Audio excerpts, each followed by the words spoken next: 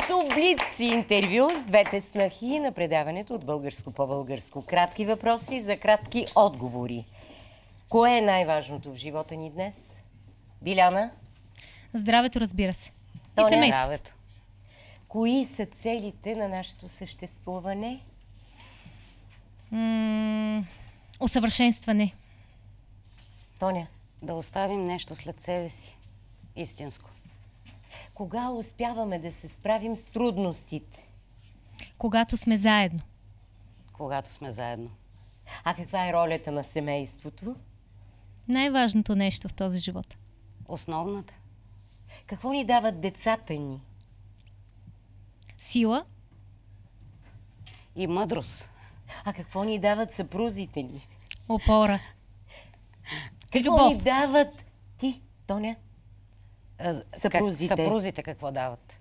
Да, опора и, и грижи. Какво ни дават хората около нас? Зависи от хората. Ами, може би познание за самите себе си. Къде да намерим баланс?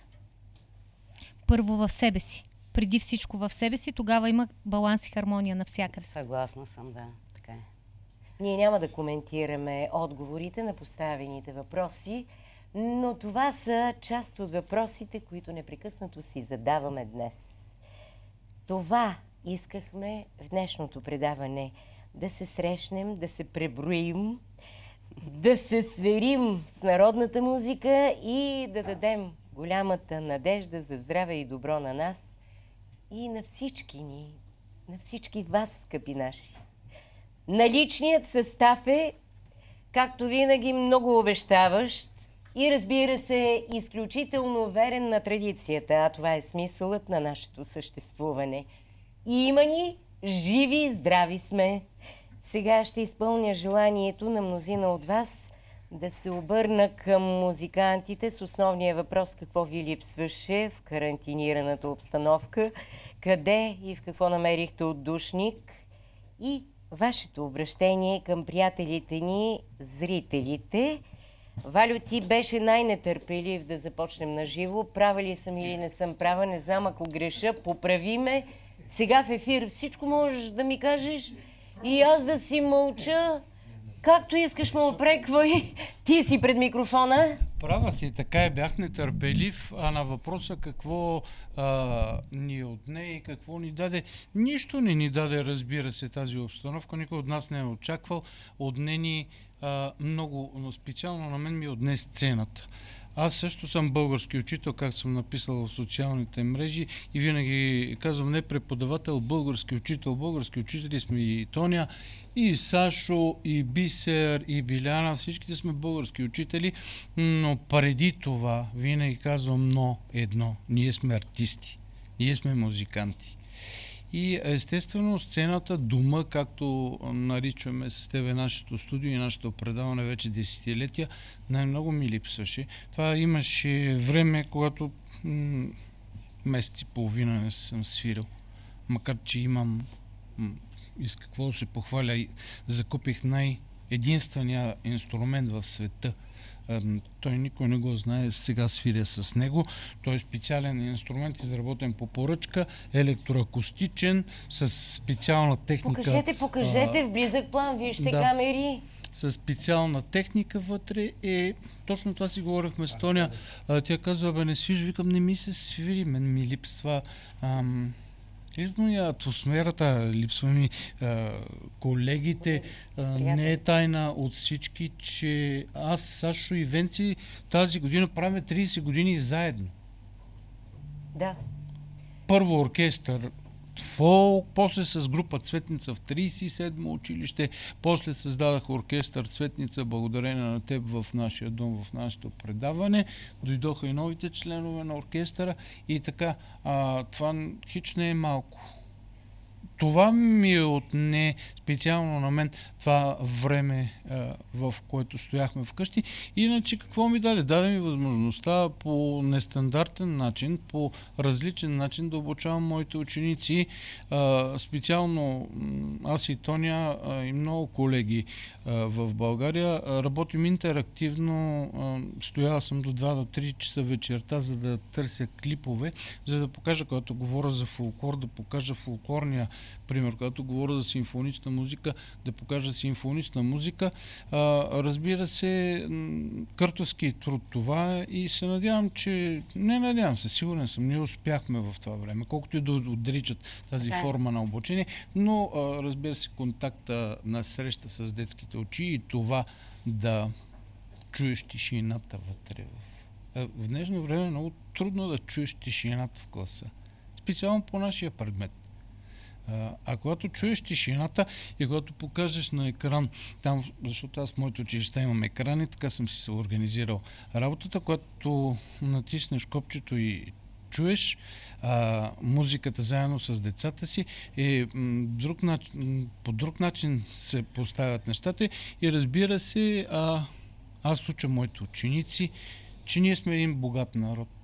Винаги, ако не всеки час, то през час започвам, че ние сме един от най-богатите народи в света, по отношение на мелодика, по отношение на ритмика, по отношение на фолклор, по отношение на носия и какво ли не още. И с това можем да се гордеем наред с а, многото неща, от които можем да се срамуваме и да навеждаме глас, защото ми задават и такива въпроси моите ученици за нещата около нас, за нещата вчера, за нещата днес, за нещата, които може би ще се случат утре. Питат ме кой е най, кой е по-по-най, питат ме за предаването, гледат нашето предаване. Това е много хубаво. Валю, с гордо вдигната глава, грабвай великолепния инструмент и се готви за поредно свирене. Ние за песен, тук на това място, мисълта на Валю трябваше да продължи Бисер Соколов, но той твърдо заяви. Нека пеят жената и децата. И за това сега Баткочичко Сашо подрежда микрофони, мама Биляна излиза, първо с щерката, Теодор поема дълбоко въздух и ще продължи тяхната песен.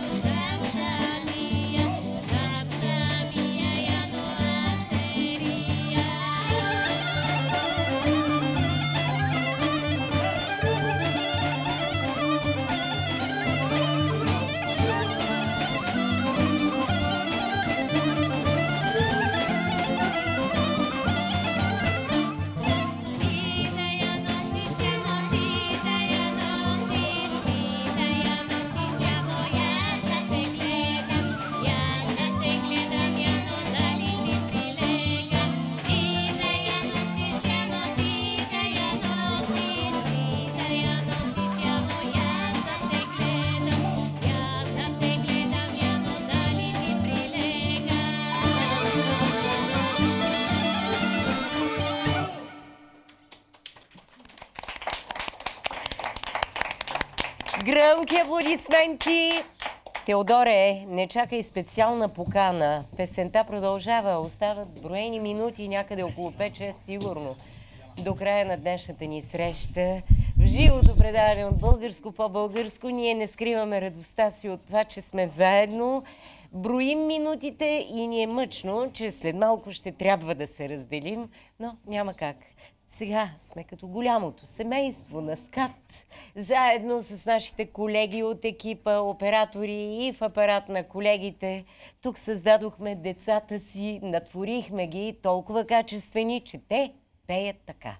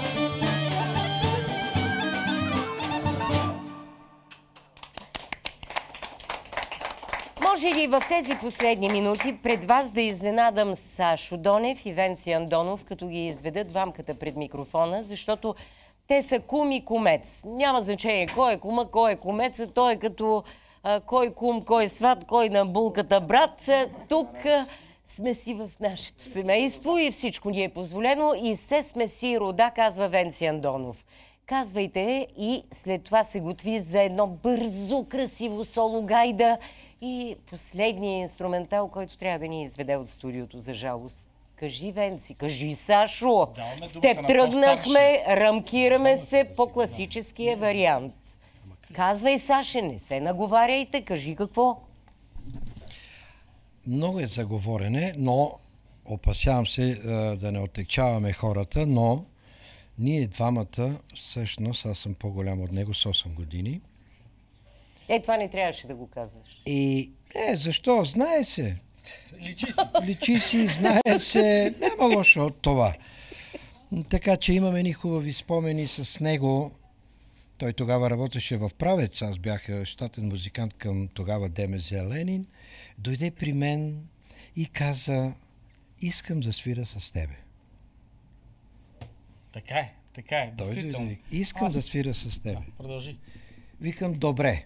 Обаче ще трябва малко да посвириме заедно, за да покажем така някои да уеднак- уеднаквиме елементи, някой казано с езика на музиката, трилери, морде, което стана много бързо, между другото. Ние намерихме общ език много бързо, защото той дойде много подготвен, от широка лъка, имаше много опит, имаше страхотен тон на гайдата, един хубав пръст, чиз и така ние с него а, направихме така едно съзвучие страхотно. И оттам нататък започна нашия общ житейски път, свързан през, през битовите, защото аз му кумувах по-нататък, беше, минаха години. Той пак дойде при мен и каза, искам ти да ми кумуваш, както преди каза, искам да свира За с теб. Вика, всичко това «Искам». обаче ще разкажем в следващото предаване. Предупредих ви в е. днешния ден. Дълго е. Това са елементи на старческата деменция, която ни обхваща бавно, но сигурно. Не се връщайте към радната си младост.